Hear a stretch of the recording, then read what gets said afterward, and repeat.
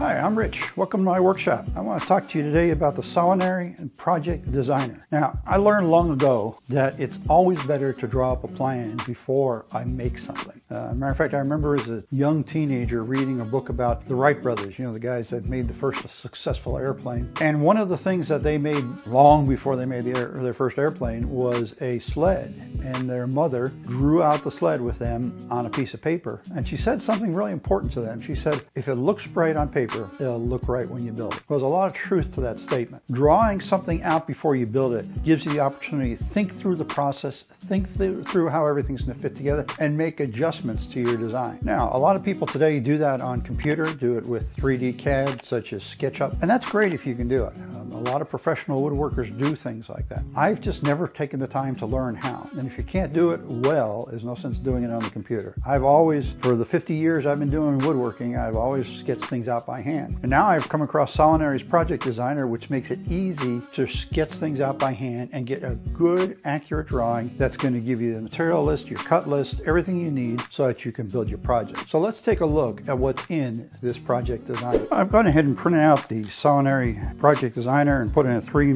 ring notebook. Just makes an easy way to keep everything. Uh, maybe you don't use three ring notebooks. I use them for a lot of stuff, okay? So here's a project that I'm working on and I'm to step you through what I've done to create this in the Project Designer. First of all, the very first thing you do is create a 3D image. Now, creating 3D on computers is a big deal, okay? And there's a lot of good software out there for doing it. But for most people, creating 3D by hand is a, a tedious project. This makes it easy. This is what's known as an isometric view, which is 3D, okay? And they've got a, a special grid here that's already laid out the lines in the 3D, and you can use that to design your project in a matter of minutes, you can lay this out, see how things are to look, and get an overall view of your project. And that's exactly what I've done here. Uh, this is done in pencil. Uh, I'll just warn you right now, if you sit down to design a project and you're anything like me, you're going to make changes. You're going to find, oh, that doesn't work the way I intended. I got to adjust it. Figure it's going to be part of the process, okay? One key thing I learned in doing this is that this point right here, this nexus, which we got this line and this line and the center line coming together, start from there. I started from all the way down here and I realized I had had to move it up. And so that, that's your starting point, okay? That's that front top corner of whatever it is. Other versions of the same template for making things that are tall and wide. This is kind of boxy, so I started off with this. And here I've got my basic view. Now this isn't exactly right in the sense of the measurements being right. It's not done to measurements, it's approximate. The idea being here so I can see how everything fits together, see what pieces that I need, okay? Once I've got that done, then I went to the next page, and this is a, a, a special graph paper that's scaled 1 to 12, and they provide you with scales that are matching that. You can't go out and buy a 1 to 12 scale. I've looked. I've got engineering scales from my engineering days, and I've looked at them, and I looked online. I could not find a 1 to 12 scale, okay? So they've provided you with a 1 to 12 scale. I went ahead and coated this using uh, just clear packing tape to make it last longer. Uh, but I didn't actually use it to draw my lines. I used a different ruler for that. And I've got this as a, a reference for measuring, okay? So here I've got, I started off with a cutaway view. Now that's the, not the normal way you do it. Usually you start off with either your front view or this is the top view. And really the top view should be up here, but it didn't fit properly. So I ended up putting it over here. And as you can see, I had to cut the corner off of it, but that's all right. I still get the idea of what I'm doing. So my front view, I've got essentially a bunch of boards that are vertical and I'm trying to go for a like a farm door sort of a look. And, and uh, the reason I'm doing that is the room this is going go in has a has a farm door type door in there okay? And so I did the cutaway because I wanted to see how everything was going to fit together. And this is basically my sideboards my top and bottom rails and then here I've put in a rail on the inside for the lid to set down into. Now rather than upholstering the top of this I'm designing it so one of the pillows off of the sofa one of the throw pillows will fit in it. And so this lip is so that that pillow will sit in just right. And this rail, which is going to run around the inside of it,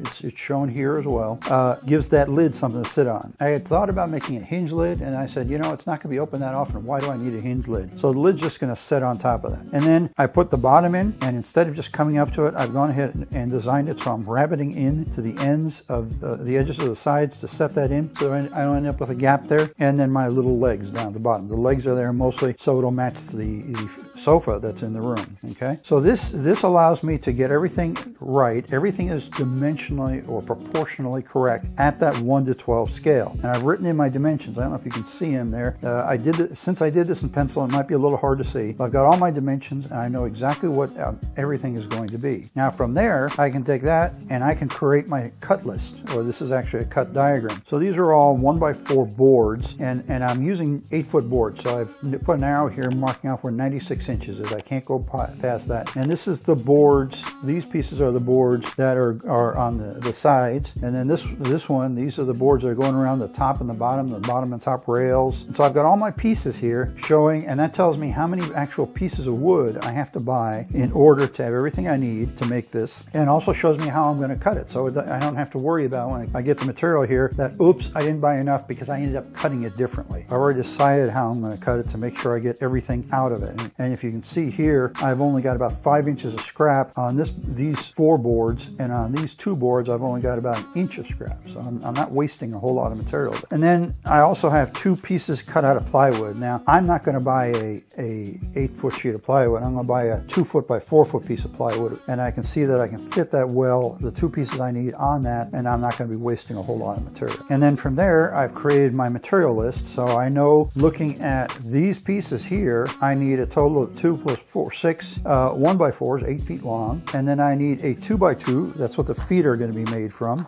Actually, I already have that. That's what says on hand here. So I have to go buy that. And then I need that piece of plywood that's going to be used for the top and the bottom. Uh, as far as hardware, I need finish nails. That's going to be in an air nail. I'm going to assemble it with my air nailer. Uh, so I really don't have to buy those because I have them. And I'll need some stain for finishing it. And then here I've put together my basic process. So thinking through, it's a good idea to think through the steps you're going to go through to make the project and just get them in order. And that's what I've done here. There's not a lot of detail there, but it tells me what I need to do and when I need to do it.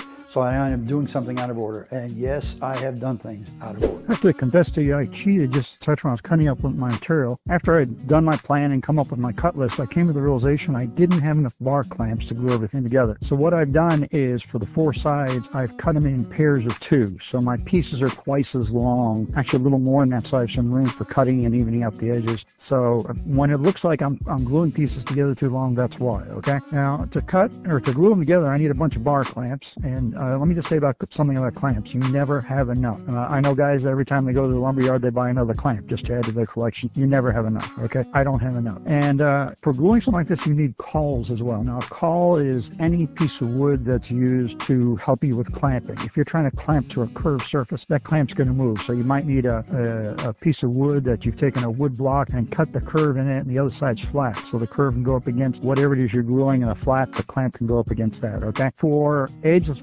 gluing, boards together, we use just plain flat cauls. These are two by twos, poplar two by twos, and they're coated with beeswax. Now you don't have to use beeswax, you can use any sort of wax, but the idea behind the wax is that it keeps the glue from sticking. And you can see how quickly I applied that wax. That's good enough. The whole idea is that the glue doesn't stick to these if it oozes out, and and it probably will ooze out. In actuality, you probably want it to ooze out. Uh, if you do, if your glue doesn't ooze out, there's a good chance you don't have enough. So I'm gonna lay out my pieces here, and I'm look just looking to see that that they meet up pretty well. Now, typically when you're edge gluing panels like this, or boards to make a panel, you will um, joint the edges, okay, with a planer or uh, with a jointer if you have a jointer available to you. And the reason for that is that it makes sure your edges are absolutely straight. And the other thing you'll do is probably plane the wood to make sure it's all a consistent thickness. I'm not doing it, that in this case, and my reason for not doing it is I'm going for a rustic look. And so if it's a little bit off, that's in this situation, that's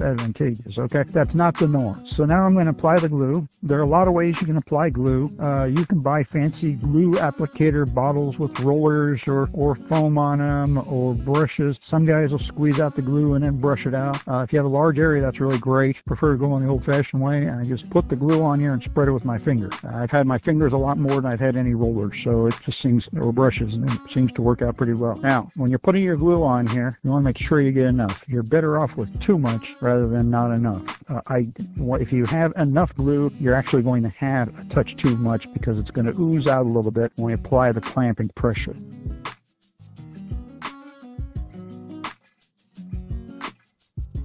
Okay, now that I've got the glue spread, it's time to clamp my boards together. I'm going to go ahead and set my cauls, the other half of my cauls on in place here. I'm not going to clamp them yet. Um, my cauls are in pairs and they're labeled that way, so I make sure I use them the right ones together all the time. And uh, I'm using five clamps. I would really rather be using more, but you work with what you got.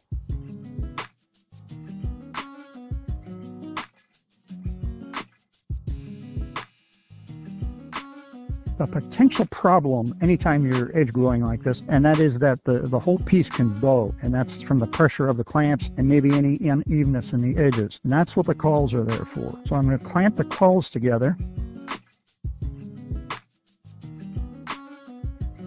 This is our glued up panel here, and as you can see, there's some glue that's squeezed out. That's that excess glue I was talking about that we actually want to have be there, but we can't leave it there. So we're going to take a chisel and we're going to clean up this glue, getting rid of the excess. Now, there's some people that'll tell you that rather than using a chisel and dealing with this glue when it's dry, you should take a wet rag and clean it off beforehand. What that's going to do is get that glue down into the pores of the wood, and it won't accept stain, and won't, and it'll be a, a, a spot there when you try and varnish it. So you don't want to do that. There are a couple different ways we can assemble the side and back of our ottoman together, or any box for that matter. So if this is one of our sides, which actually it is, and we're going to pretend this is the bottom, one way we can do it is butt it up here and then go ahead and nail it through. That works, but we might end up with some gaps, especially if our panels aren't uh, glued absolutely perfect. Second way is to put it on top and then glue up and nail up through the bottom. Uh, that leaves the edges of the plywood exposed, which really isn't a problem because we got a piece of trim that's going to cover it up. So that's a second possibility. The third possibility is to take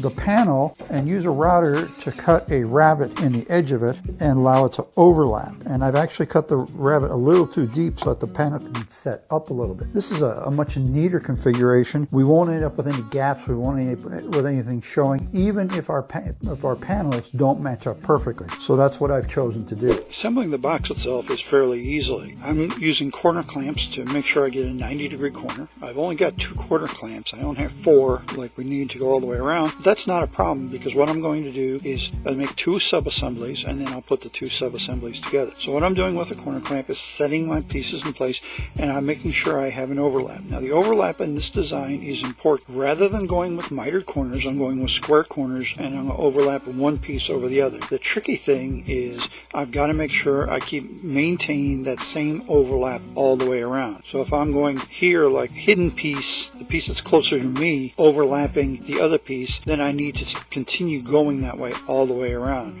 Otherwise my box is going to end up out of square. Once I dry fit the pieces together, I take them apart, squeeze some glue in there, and then uh, smooth the glue out with my finger, put the piece back in, clamp it, make sure it's aligned well, and then I'm going to nail it with an air nail. Now, if you don't have an air nail, it's not a problem. You can do the exact same thing with screws. I'm using the air nailer because I have it. It's easy, it's quick, and uh, actually it's a good investment. With both sub-assemblies made, I can now use my two corner clamps to connect them together. So I'm just going to use the corner clamps on the two sides that need to be connected together. Now again, I've got to maintain that overlap. That's the most important thing I've got to do here. Make sure that I keep my overlap direction going the same.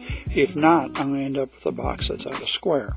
So first I dry fit the various pieces together to make sure everything's going to fit together properly and I've got my clamp set properly.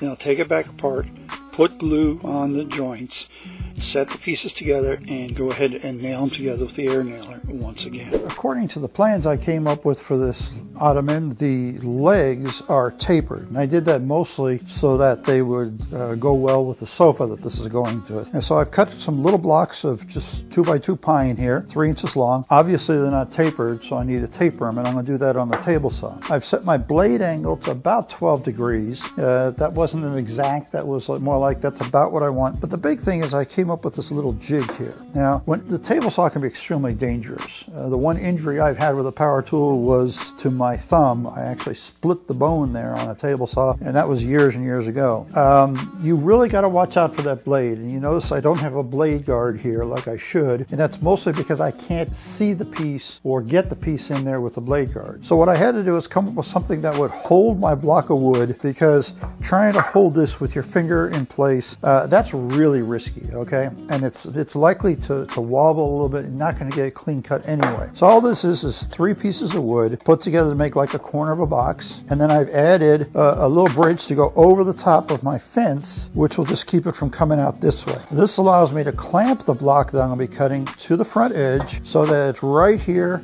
at the blade and my hand's all the way back here out of the way. Now the only thing that could be risky here is the clamp getting in the blade. So I want to make sure that my clamp's really tight so it doesn't loosen up as I start my cut.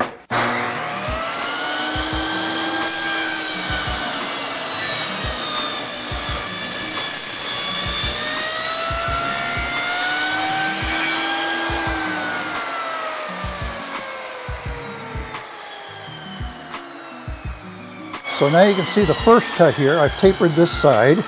So now I want to taper one more side to, to match it. We'll go ahead and loosen the clamp up, set this back in place, and I'm going to cut this side. It really doesn't matter which side, just as long as I have two adjacent sides. And the reason I'm only worried about two sides is because the other two sides are going to be towards the inside where they won't even be visible. So if as long as I as I manage to taper two sides effectively, I'm going to end up with a, a good tapered leg for this piece of furniture. Again, I want to make sure I get the clamp good and tight, okay? And we'll go ahead and cut that one.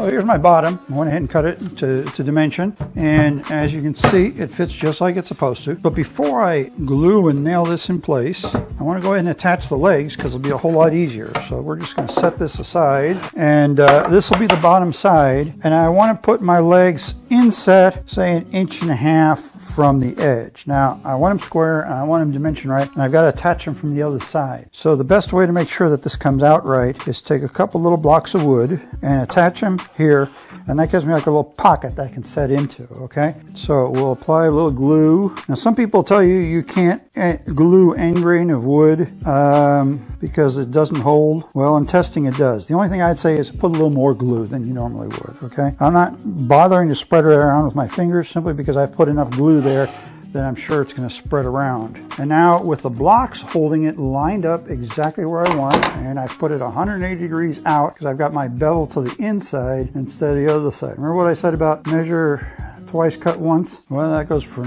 screwing and nailing and everything else too. So now with it in place, I can nail it. And what the nails are doing more than anything else is holding it together while the glue dries. Now that my legs are attached to my bottom, I'm ready to put my bottom into the cube and I'm going to double check, make sure it fits, make sure it's square. We're all good. Now we put a little glue in there and nail that in place. Both the trim and the support for the lid are going to be made out of 1x4s just like everything else.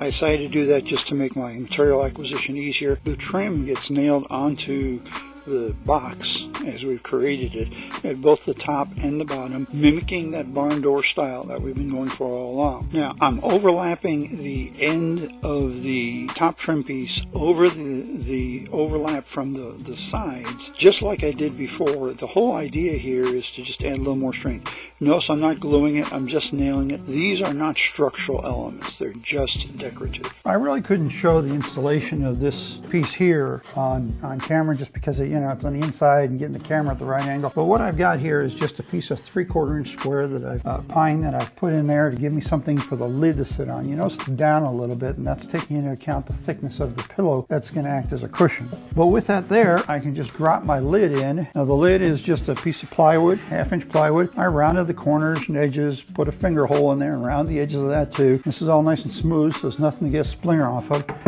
and this just drops in. Now it's a whole lot easier than having to put a hinge in and a latch and all that. And then the cushion sits right on top of there, and there's a nice comfy place for my feet when I'm sitting there on the sofa talking to my wife, watching TV, whatever it might be. It actually ended up being a pretty simple project to do, and the reason it was simple is because I started off with a good design. And this project planner that Sawinery's put out just makes it so much easier, especially this first page here. We've got that isometric view, the 3D view. Being able to start out with that and, and have a good idea what the project's going to look like when it's done really helps. And lo and behold, you know, the project looks pretty much like the drawing. After going through all the steps in this, figuring out the materials, I only had one trip to the lumberyard, and that's amazing in and of itself. I didn't end up short anything, and uh, the project went together really easy. So taking the time to develop a plan, to do your drawings is really worth it because it's going to cut down on errors, speed up your woodworking time, and give you a better project when you're done with it. It's the way I do things, the way I've always done things, I just didn't have this to work with. Having this makes it easy. I highly recommend that you try it for your own project. So why not go build something and uh, we'll see you next time.